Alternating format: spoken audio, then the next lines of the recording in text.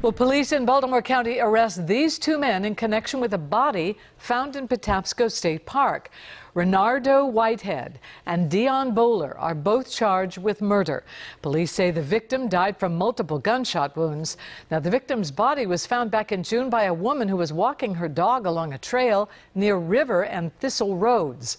He was later identified as Glenroy St. Aubyn Copeland of Elkridge.